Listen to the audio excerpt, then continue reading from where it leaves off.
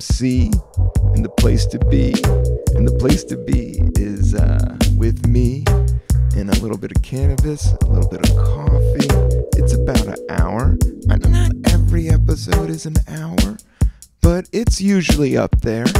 It's usually uh, I try to hit like 45 minutes. Sometimes I'm running and gunning. Last night I was running and gunning. I just got I just did a co- uh, comedy show last night in down in fucking Times Square at the Cookies uh, store.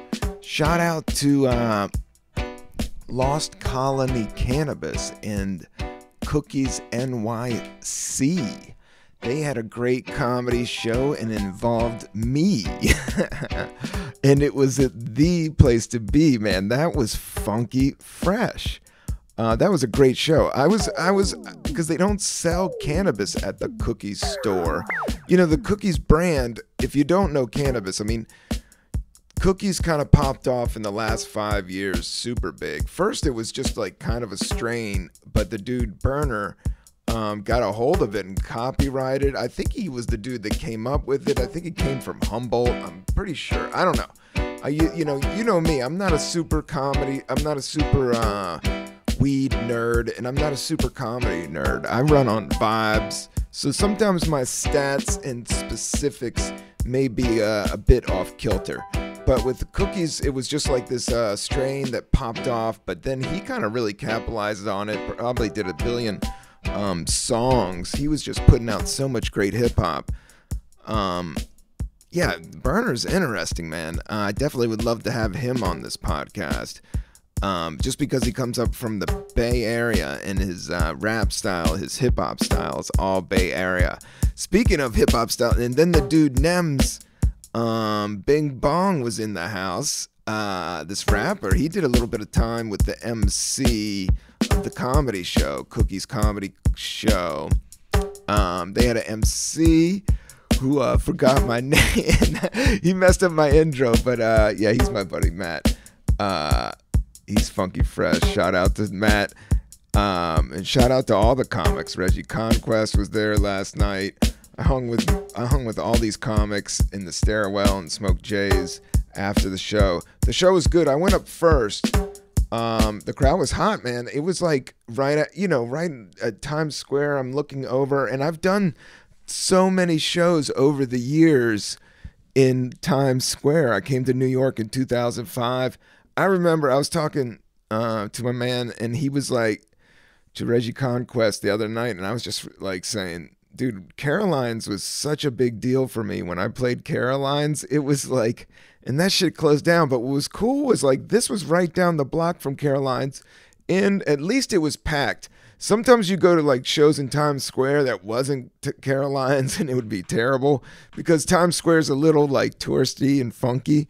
But Caroline's was always on time. Um, not always, but when it was when it was packed, it was like you got a slice of all of America. Like it was literally the middle of America. And that's where it was last night. Super New York last night. Um, and it showed up, man.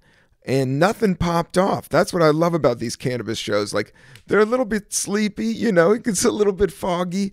Um, but uh, nothing ever really pops off and nobody was drinking mad heavy because it was just like a store.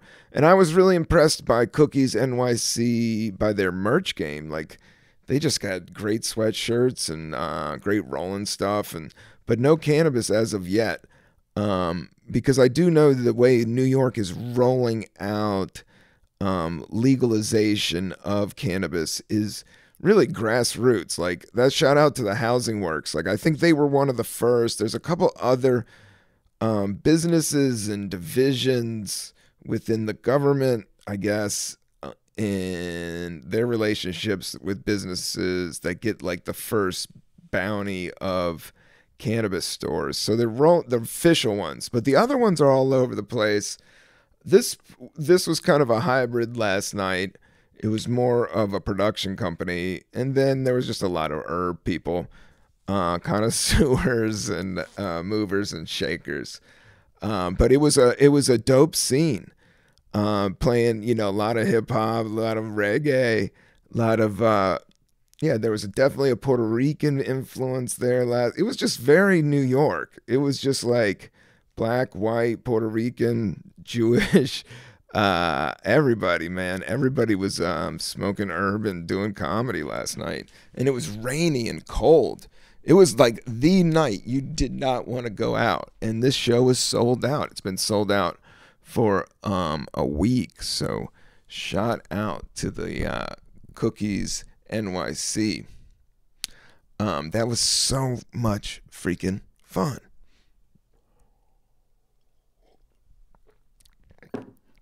there was definitely a hip hop vibe to it, and that's what I loved about it. That dude Nems is a great rapper, man. I've listened to his stuff, um, and uh, he's been in New York. To be a rapper from New York, you got to be like super good and super aggressive because everybody's gonna want to take you out. Um, but there's a lot of good rappers out there.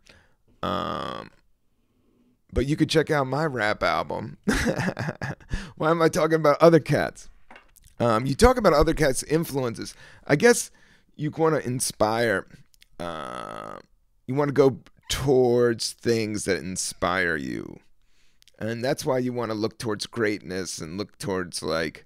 That's what I like about good music. Like it, it, it kind of like when you get on that higher frequency, you know, when you hear good music or laughter, like dude, I mean, everybody was tripping out and laughing last night. All I did was have good times. So my body's like, it was a little bit, you know, I didn't drink, but I'm worn out from the good times. and it was rainy and I was playing it safe. You know, I was just like, it's rainy and cold. So the move is just like, you kind of are extra mindful of your own zone, you know been uh, good with meditating, but I couldn't make the 20 minutes. I broke it like eight. I think I just got so much going on, and then I was thinking about doing this podcast, and it's been a mi- minute from doing my own solo podcast. Shout out to uh, Matt Koff. I hope you guys enjoyed that episode. Check it out on YouTube, the full video. We'll be doing more full videos produced right. You know, I step up the game just a little bit. This is my own in-house company. You know, I shot this off my phone, I recorded this, I edited it, I do everything. This is one man shop, the Cannabis Coffee Hour. But that's what I kind of like about it. And I've learned so much. Last night I want to do more like mixtape, like little shots here and there as I go through the week and do shows. Like I had the opportunity to um, interview a bunch of cool dudes last night but my, I had the mics, but I didn't like present it right, and I didn't. Uh, it, and everybody's just like smoking in a stairway. So there was my, there was the moment where I could have done it, and then it kind of got it went, and so then I just let it just like settle, and then I was like, oh, I'm not gonna record. I'll just do a solo one tomorrow um, and just talk about it. and here we are. It all works out. I'll definitely get some of these cats on the podcast very very soon. And another thing was uh I got a great a uh, great great great great great great gift bag from the I want to make sure I'm pronouncing everything. They were everybody was just so dope last night. It was just a fun cool scene and I know they're doing more shows. Shout out to Matt Richards. That's who the cat. Um you know, the Cookies Show, Billy June 88 was the production. That cat is everywhere. Like he's been on Hot 97. Like this was kind of like he produced all these Hot 97 stuff. Um so he's kind of classic hip hop um New York, but it was just a good good cool fucking dope scene. Oh yeah, uh, what I was trying to do. See what I was trying to do let's give a shout out to the organizers. Billy June was like one of the producers, and he's done a lot of comedy shows and podcasts. This is the Lost Canna Club, woman owned legacy operator comedy in cannabis. Um, they produce comedy shows, and um, it's very herb friendly. and the rapper Nems have been showing up. So it's kind of like this cool scene. Um, it was definitely super, super um, dope. I appreciate being on the show. The gift bag was amazing. I got some great herb. Shout out to Big Apple Rolling Papers. I got a great lighter. Uh, my other friend stole my lighter. He didn't steal. I, I gave it to him a couple times while we were hanging out, and then he went on stage, and then after the show, everybody broke out, so I missed him, and then I was just all of a sudden I was back on the subway, heading home. Um, but I did. I never hang out, but this show I hung out, um, and it was chill. like I'm trying to go towards vibes that feel good. And last night was a good one. Um and make work fun, you know. I've been reading a lot of like meditation stuff and when you get to your true essence is like everything should be fun. Like I just had to take my hat off. The weather's weird here. It's like rainy and um, cold, but now the sun is coming out. so it's like, huh? Um, it's a little bit all over the map here. It hasn't snowed in New York, but it's definitely cold. I never complain. I mean, uh, you just got to grin and bear it at this point. And uh, I can't complain. I've been working. Um, right now, that I need to get a, a, few more dates. There's stuff um, going to be up on the calendar soon, but that was the last date that's been booked right now, and I do have to catch up on some of these writing projects um, and be a little bit more disciplined on um, getting up and, and just writing. I've been get I've been disciplined with meditating, and I'm I'm like grasp it. But another thing is just like being nice to yourself. We just went through a fucking pandemic. Everybody's just like, I haven't hung out mob deep last night. Um, I should take a COVID test. I'm here eventually. But I didn't hang out like super, super mob deep. Hung out kinda. Um, like I guess hanging out is like hanging out after the show for a while. um, but I could definitely say I was probably one of the older cats there. It was definitely kind of a younger scene, but that's all right by me. Um, this coffee. Oh, I'm drinking. It's the last bit. Man, I had this. I made this huge thing, but I did clean up, and I was like beat up. But cleaning up makes me feel better. Like I love making my bed. I love organizing all my shit in the morning, even no matter how crazy it is. Um, I really think like the like your area, your external and your internal, you're trying to find that balance at all times. So it helps you like get on top of the day by just organizing your immediate area or letting it go. But also, that's what I, you got perfectionism is something you got to worry about, but not too much. Um, if you're smoking weed, you'll you'll never get it, or you will, or you'll just let it all go, um, which is definitely the super key.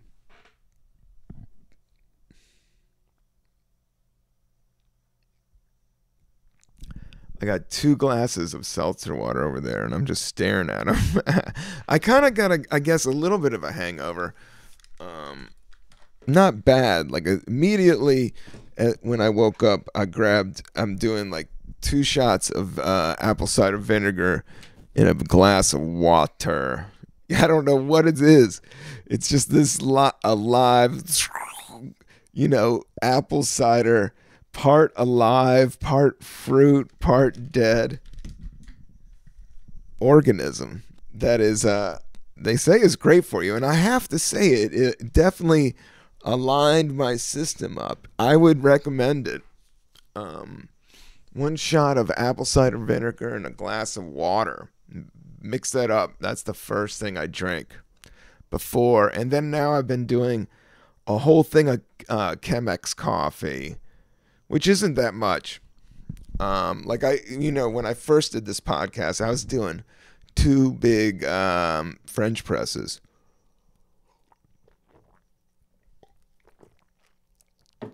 Oh wow, that is some good seltzer. Um, followed by a little bit. It's just the. It's the very. This is. I got this Atlas um, Coffee Club for Christmas from my brother-in-law. Shout out Kevin. I love you. Um, this coffee is from India. Um, and it's absolutely amazing. I actually have two. I won't tell you. I had a bag of Stumptown, and then I had a bag of this Atlas Coffee Club. Um, and I just took a smell this morning to pick out which one, and I have to say, I went with the Atlas India. Um, it has a great, great earth tone. Uh, and the Stumptown's amazing, and it's like got this funk, but this has this like I don't know, it's like very soulful. Okay, the fragrant seeds. This okay. This is this is from the Atlas. This is India. India. Coffee from the Atlas Coffee Club. Like I've I haven't had coffee that much coffee from India. It's mostly from South America. Fragrant seed crackle in oil. Sputtering rickshaws squeeze through dense crowd. Bengal tigers stalk the Himalaya foothills, and ribbon like clouds swirl over Darjeeling vast terraced tea plantations. You've arrived in India, the world's most populous democracy, a spiritual center ruled by colors, chaos, and connection. Aromic draws you into Mumbai's maze like bazaars, bristling with sari silk, mango leaves, coconut, and chat. You trace a spidery network of lagoons in Kerala's backwaters, past roaming wild elephants in woven houseboats on the historic streets of Agra, home of both Taj Mahal and one of the biggest Holi festivals.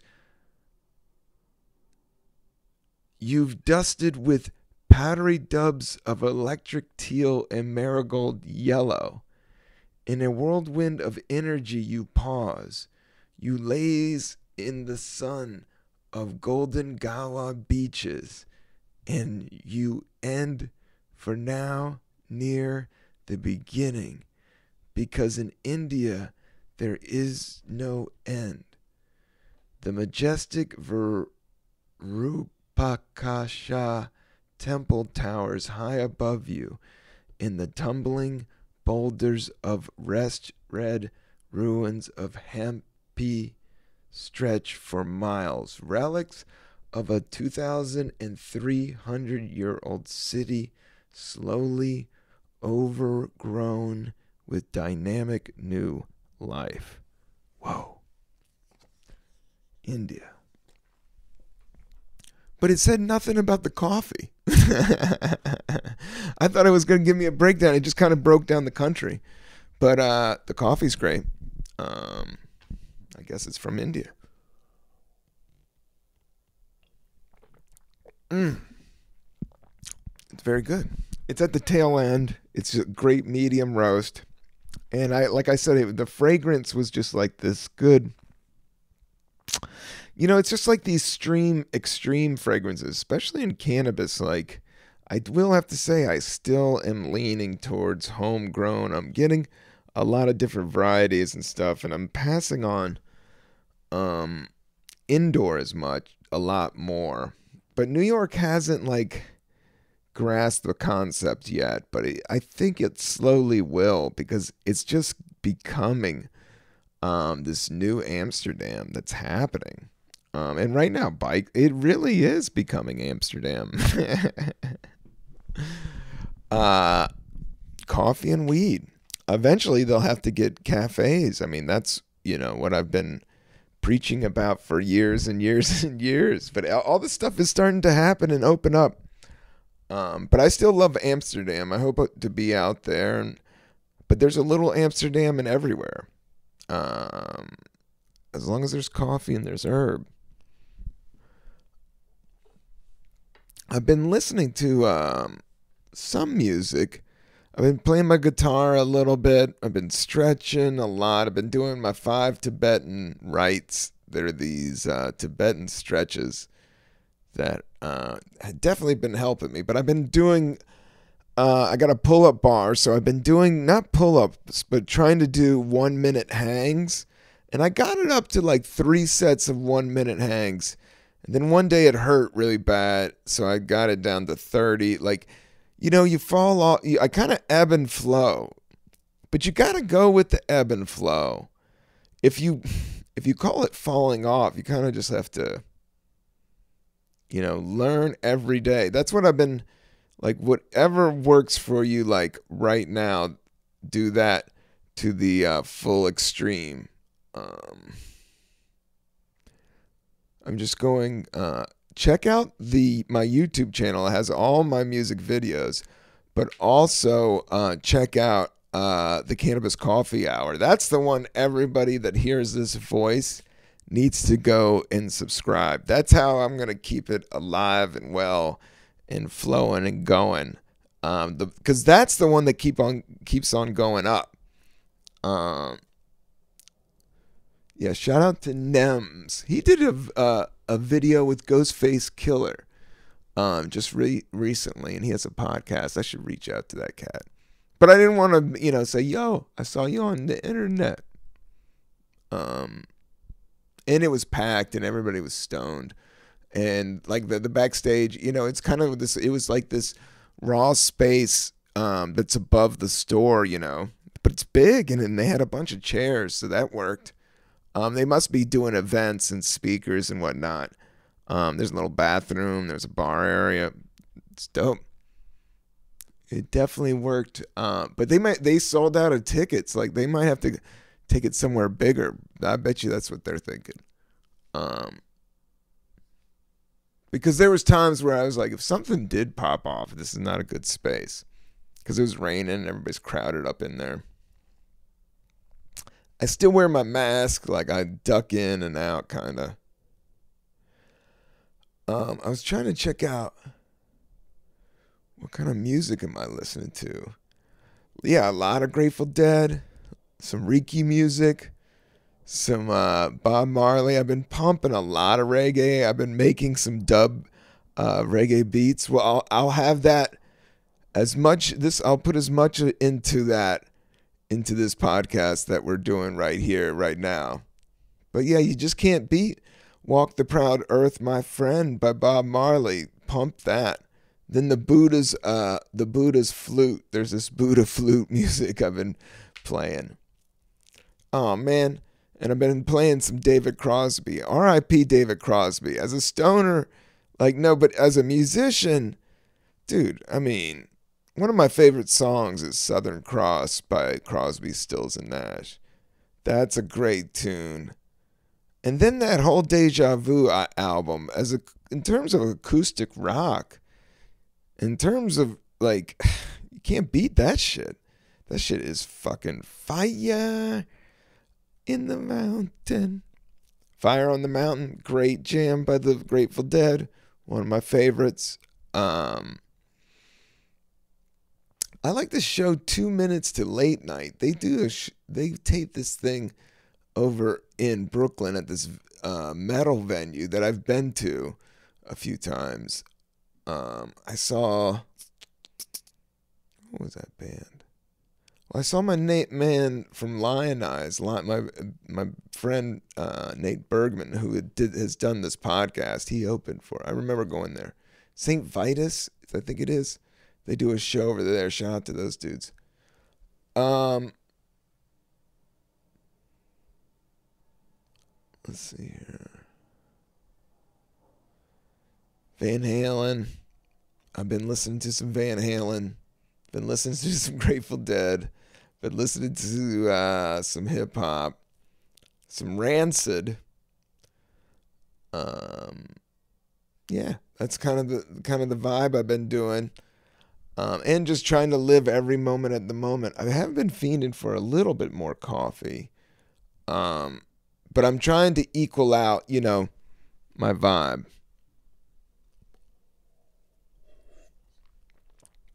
in terms of I don't want to get too like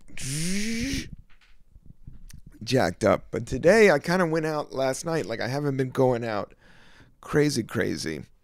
So um, today I am kind of like, whoa. And then I was like, I gotta deal with the podcast, man. I gotta get. Okay, I'll talk about cookies in New York. I'll talk about. Oh, shout out to the Arlington Draft House, man. I had a best time. Th- thank you everybody that came out. Uh, my friend Doug E came out. I don't want to give out people's government names out on there. So, but if you're listening to, everybody said they would subscribe. Big Al, uh, all my friends like from my early 20s came out to the show. It was kind of a little bit pressure, um, but we had a fun show. I got a tons of laugh. I haven't been um, headlining that much, like doing over an hour of material. Um, I was doing about 55 minutes. Like I, I never try to go over with stand up. A lot of these comedians do like 10 hours.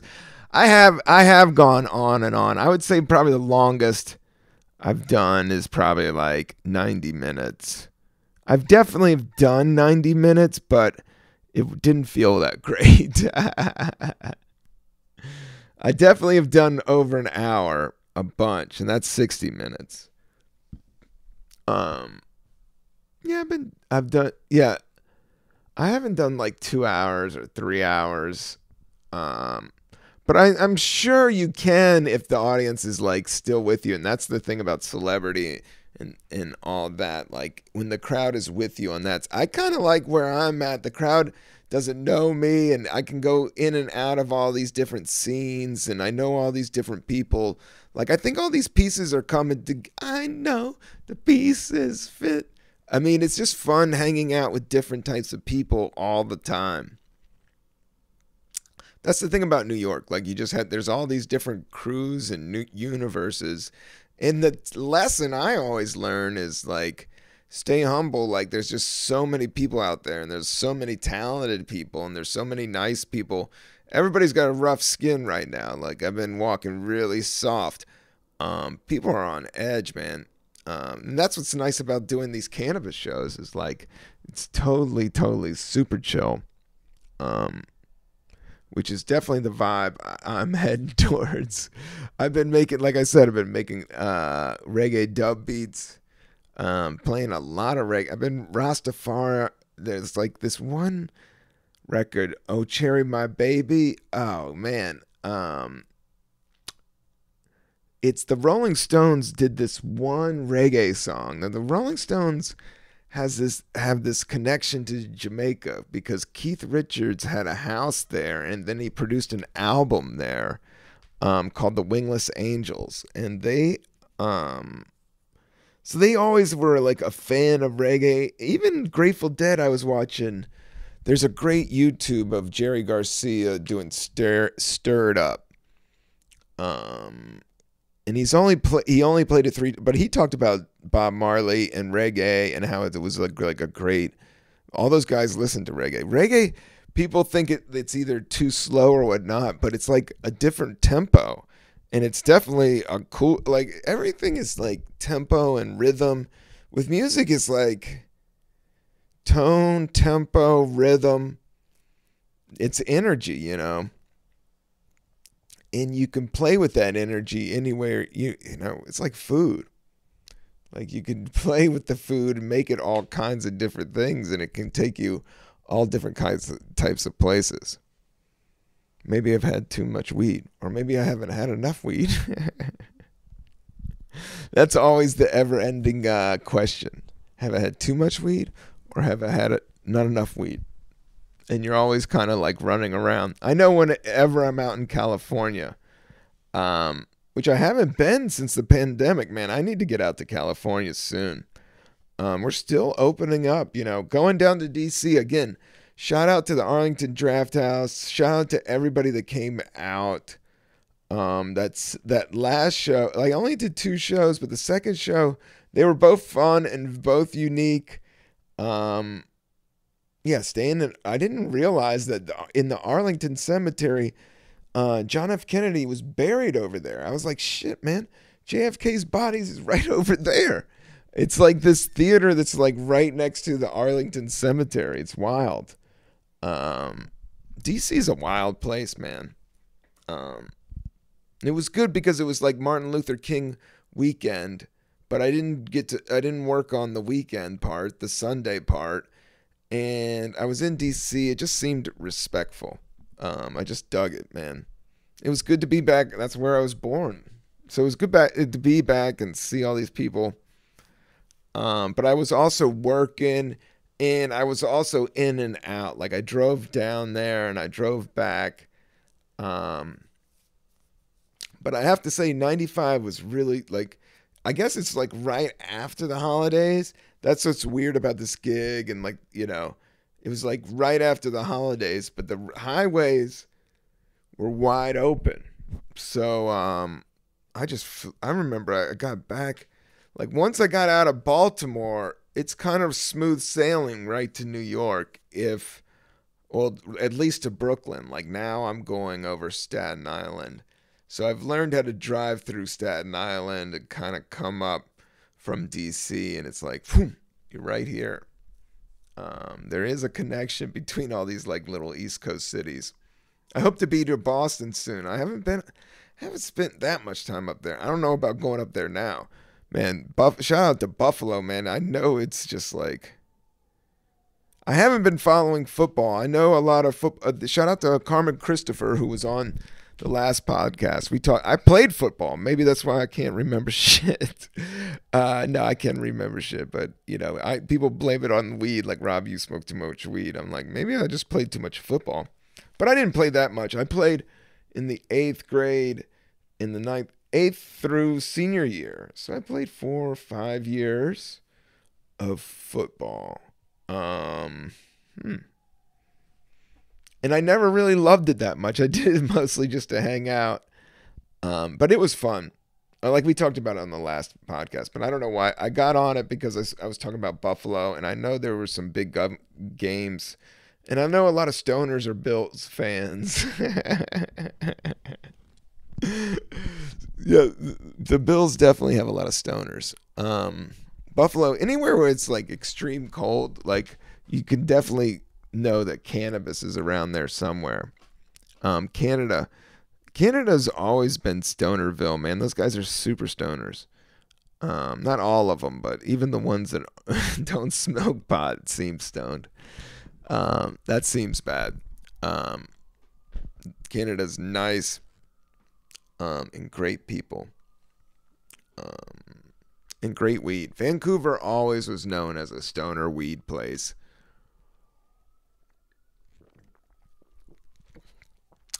And I think Toronto was. and then kind of their country like people in the backwoods definitely smoked a lot of herb. Shout out to the Trailer Park Boys. I mean that show was tons of herb. I love that show.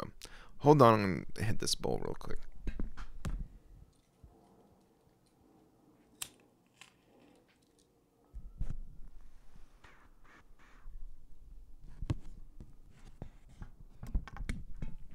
Yeah, just for the last bit of the podcast, the cannabis coffee hour, drank all the coffee. That was the rest of the bowl. We talked about the gigs in DC and New York. Uh, they've been great. Please sign up to my mailing list on robcantrell.com. Um, I can't wait to bring this show out on the road. Um, I'm looking uh, for booking uh, the Cannabis Coffee Hour to festivals coming up. So please get at me at contact at Rob Cantrell if you're serious about your business and want to connect. Um, because there's gonna, I think there's just gonna be a lot more cannabis type shows, and I'm definitely good for that crowd, and I kind of know what to expect, and uh, and I have some material for it. I was all over the map last night, but so was everything. Like, um, I had to go up first, so I was like, the vibe wasn't set up, but um, but I had a great time. It was a fun set. Um, I'm glad I did it. I hope to do more shows with those cats. Uh, but definitely I popped off. Like uh, I definitely am uh, feeling a little tired today. I hope it doesn't come through too much on this podcast. Uh, been drinking smoothies. Uh, what have I been? Been I had some salmon last night, and then I've been eating mashed. I'm going through a mashed potato phase.